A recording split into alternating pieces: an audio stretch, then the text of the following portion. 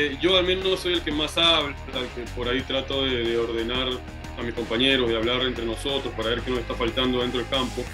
Eh, digamos, Yotun no es el que más habla, pero con su juego siento que él es un líder. con su juego siento que es líder, también Cueva, eh, Renato, que, también trata de acomodar a la volante. Entonces, creo que todos tenemos un, un liderazgo y lo hemos asumido como tal. Tengo, creo que, que tengo cansado es a, Renato, a, a siempre les hablo, siempre los hostigo y a veces ya ni, ni me quieren mirar. Hay que buscar ahora, eh, no sé, volantes, delanteros, centrales. Creo que no debemos buscar más porque ya tenemos centrales, creo, para rato.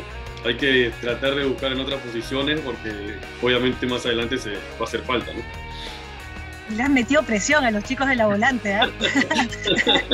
Ahí claro, te claro, para, para, que la presión ya no, ya no haya más presión para la gente de atrás, sino ya, ya que presión para adelante.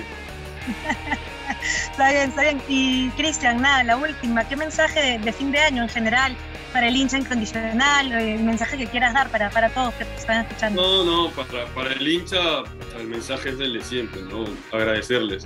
Agradecerles porque, o sea, los verdaderos hinchas nunca, nunca bajaron del bus, siempre lo empujaron desde, desde atrás y ahora este, los triunfos es para ellos, para la familia.